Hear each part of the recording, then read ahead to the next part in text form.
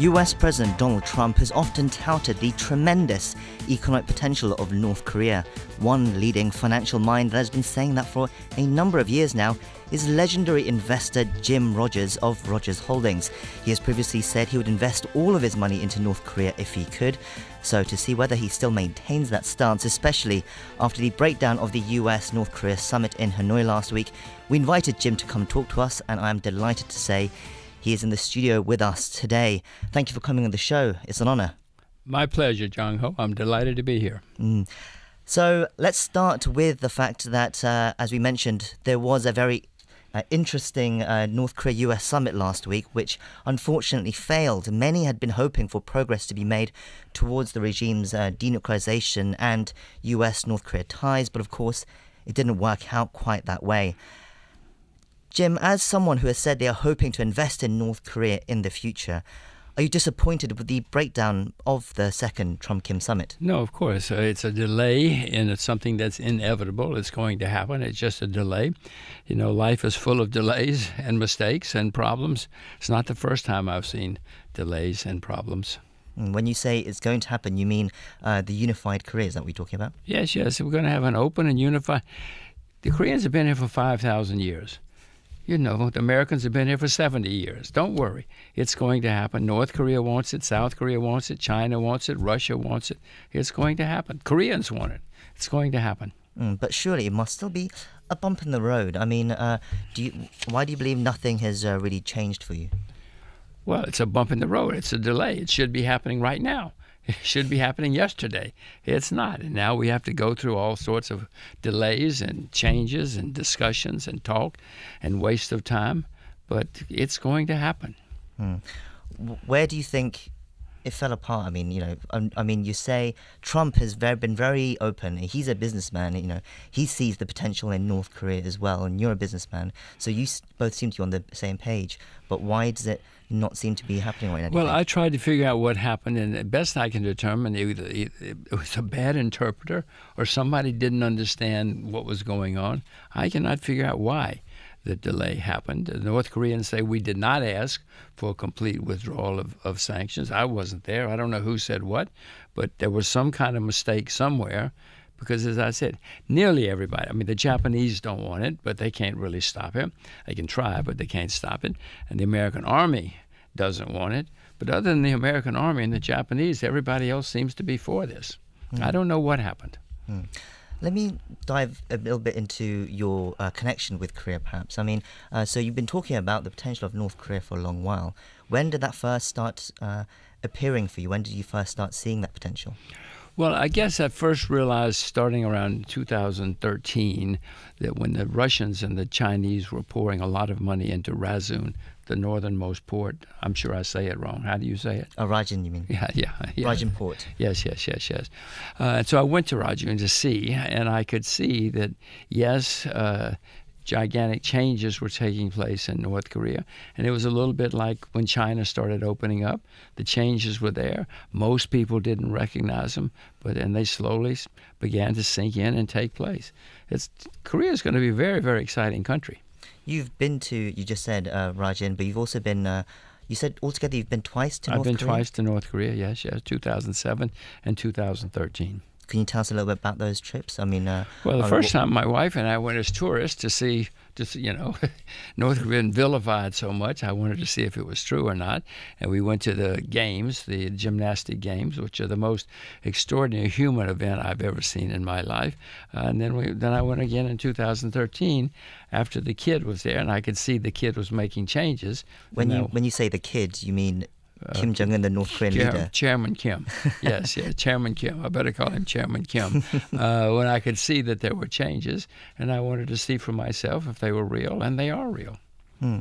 So when you saw, when you went there, when you saw, like what kind of potentials did you see? Where did you see the kind of uh, investment potentials that you talk about so much? Well, enormous. You know, that port is, for instance, is the northernmost ice-free port in Asia.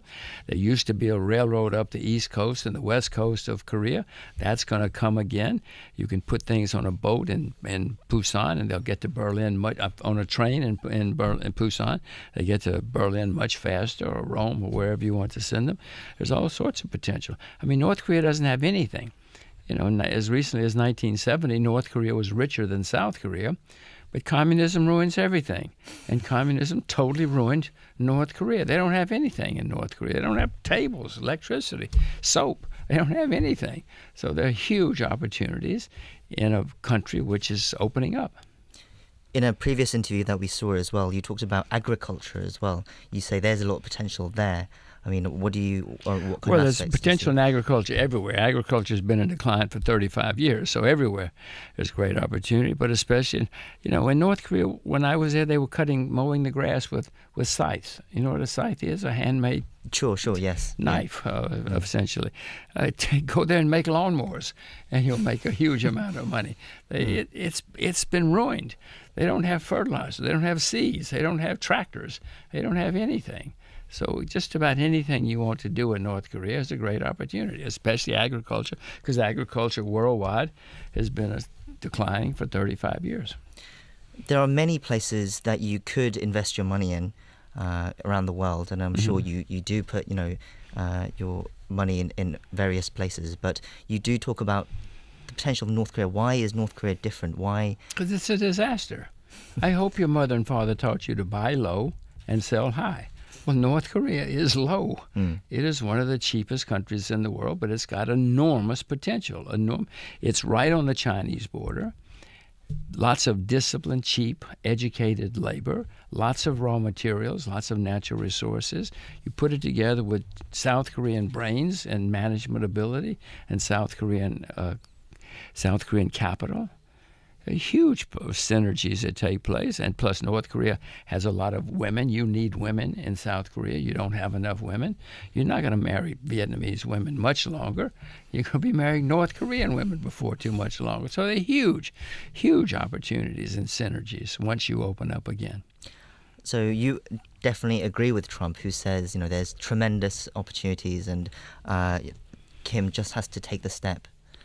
Well, America has to take the step too. I mean, it's not just Kim. Please, I know you listen to American propaganda and South Korean propaganda, but you know, you've got nukes too, uh, and you won't get rid of your nukes. And the North Koreans want you to get rid of your nukes, and you won't get. I want everybody to get rid of the nukes. It's insane. Uh, so, for Kim Jong Un as well, you know, the kid, he sees he must be able to see the potential as well uh, for uh, economic growth, for the potential. What do you think is stopping him, holding him back as well? He's he's the one trying to do this. You know, he's the one who started this whole thing. He's got 15 free trade zones. You know, he's got uh, bicycle races, international sports competitions now, movie competitions. He's the he's the kid is not Korean. The kid was educated in Switzerland would you want to live in Switzerland or North Korea? well, Chairman Kim knows the difference. Mm. You know, he has been around, and would you want to live in even Seoul or North Korea? Everybody wants to live in a different way. The North Koreans know it now. You can't lie. This is not 1989. Mm. You cannot lie to these people anymore. So they all want to change, including Chairman Kim. Obviously, we're very looking at this. They're very. Uh, um, uh, from economic uh, investor perspective, mind of you know we want to see uh, there's potential there. It's a shame that it's not being uh, uh taken. You know, the, it's not fulfilling its potential. But obviously, there's a lot of political and geopolitical and complex issues that prevent these things from happening. But you say you still believe in 20 years, within the next 20 years, it's going to unify. I mean, it's going to unify long before 20 years. No, and the Korean Peninsula is going to be the most exciting place in the world in the next 10 or 20 years because North Korea is the disaster. I told you about the synergies that are going to take place, and it will be very, very exciting. Jung Ho, you are lucky to be Korean. You're at the right place at the right time. But if anything, I just want to go back to that summit uh, last week uh, Kim Jong Un and Trump met, you know, for mm-hmm. the second time face to face, but they both weren't able to come out with a deal at the end of it. Right. Doesn't that show still how far the differences are apart? And where does your confidence lie in the fact that it will be resolved and it can happen uh, soon? Some, if there's something that has to happen, it's going to happen. This situation on the Korean Peninsula, which is about been here for what 70 years or so, cannot, if something cannot be, It cannot be, and it's going to change, and everybody knows it now. I tell you, the Japanese are against it, the American army is against it, but other than that, everybody's for it. It could happen this afternoon. If somebody with, uh, you know, common sense sat down, it would happen this afternoon. Why is there still a barbed border 70 years later, 60, 60 years later? I have no explanation. And it doesn't make sense, and it's going to change. Something that doesn't make sense is going to change, especially when nearly everybody's for it. Mm. So you you are disappointed in perhaps uh, what happened last week, yeah, the delay, but uh, you still believe that's like, that's your message. I don't believe I know. Come on, believe. What is there to believe? What does Hmm. belief have to do with this? It is a historic fact that is going to change. Look at history. This peninsula has been run by Koreans for many, many thousands of years, and it's going to be again. Why does Washington, D.C. tell you what to do? I mean, you know how far away Washington is? You should get out a map. Why is Washington, D.C. telling you what to do? Well, I mean, obviously, there's as, as we said, there's a lot of complex uh, um, ties there No, as well. not complex. Very simple. Why is Washington, D.C. telling you what to do? That's mean- not complex. That's simple. I mean, we could. Uh, uh, I mean, you know, we could say the there's there's you know uh, at the moment South Korea uh, economy relies on uh, uh, the U.S. a lot as well. There's a lot China is much more important to South Korea now than the U.S. Hmm. I mean, look at the facts. China is much more important, and China's right there. China has much more interest in this and, than uh, Washington, D.C. We'll go into uh, South Korea's economy and and your hopes for it as well in just a bit. But uh, let me just ask you a bit. There were obviously uh, there were many reports last month that say you were invited to North Korea at the invitation of Kim Jong Un himself. You have since category, categorically denied these claims. Uh, but where do you think Jung these Ho, you've came heard from? of you've heard of fake news. I will tell you, I was sitting, I was more shocked than anybody. The front page of a South Korean newspaper had a picture of Chairman Kim and me saying that he had invited me to North Korea. I'm sitting this, and the source of this was the Blue House. Hmm. That's what it said. You would think the guy would have called me before hmm. he published something. Nobody called me. The South Korean ambassador called me and said, "Let's talk. What's up?" I said, "You tell me what's up. I don't know anything about this. You're the you're the South Korean government. Hmm. The South Korean ambassador didn't know. I didn't know. None of us knew. And the reporter still hasn't called me. The person who wrote that story. Told you've heard of fake news. Boy, I've I've experienced it. So we can categorically deny there's been no invitation as such. There's but, uh, been absolutely nothing other than somebody in South Korea wrote a story. do you think Kim Jong Un knows who you are? Do you think he's aware? I'm told he does. You're told he does. Yes. Okay. Uh, what kind of source tells you that he does? The Korean ambassador. Ah, interesting. the North Korean ambassador and the South Korean ambassador. Ah, okay, that's interesting. So you would accept an invitation if it came. Oh, sure, I've been there twice. Mm. Of course, it's illegal to go now. It's illegal for Americans to go there now. But uh, my daughter's very keen to go. I'm very keen to go. No, we want to go. So the uh, so let's go back to like investment investing in North Korea. I mean, as I said, there's it's not an I don't think it's a simple issue, especially as I said with uh, political concerns and as, as well with such things as uh, complicated things such as how can we say uh, the humanitarian issues, the humani- the human rights issues, and that kind of thing, and all those kind of problems that uh, uh, prevent it from integrating into the international community. I mean, would those have to be resolved Jung at Ho, all? I, I'm not here to defend anybody in North Korea, especially not the father or hmm. the grandfather. They were obviously very bad guys. But this guy is trying to change things and open up. I, you know, I don't invest in. I mean, I don't think about Adolf Hitler when I think about investing in Germany. I don't think about Joseph Stalin when I invest in in Ch- Russia. This is 2019. Hmm. This is not 1989. This is not 1959. The world is changing, and if you had thought about Mao Zedong, you never would have invested in China. If you thought about Joseph Stalin, you never would have invested in, in Russia. This is a new person, a new era, and things are changing. uh, obviously you'd want to get in there as soon as something happens. Uh, but the, um, people like, uh, um, let's say, for example, like China would want, also want to get involved as well. You think there'd be a big They're fight? already there. Mm. Suppose I told you there was a country where you didn't have to compete with Japan, you didn't have to compete with South Korea, and you didn't have to be, compete with America. You would say, oh my gosh, I want to get there fast. Don't have to compete with Japan, South Korea, or America. You would rush. Well, the Chinese are doing it, the Russians are doing it. I'm a citizen of the land of the free. We're not very free in the land of the free. I cannot do anything there. All these other people can, and they are. You can't do anything there, uh, but if you could, you should be there. Uh, let's move on to also now to South Korea as well. So you're in South Korea. Um, you've got uh, some uh, business to do here, I'm sure. I mean, when you see South Korean economy and uh, uh, what are you looking at here? What what are you what what do you see? What potential do you see in South Korea as well? Well, once all this opens up, I will repeat: Korea, Korean peninsula, is going to be the single most exciting country in the world. I'm here now because I'm a director of a company called Enanti, and I am here for the board meeting, mm. which is it happens every four times a year, and mm. it should. Uh, but there, and Enanti will have huge opportunities once this op- opens up around the around the, the peninsula. So there, and I'm look always looking for opportunities, investment opportunities.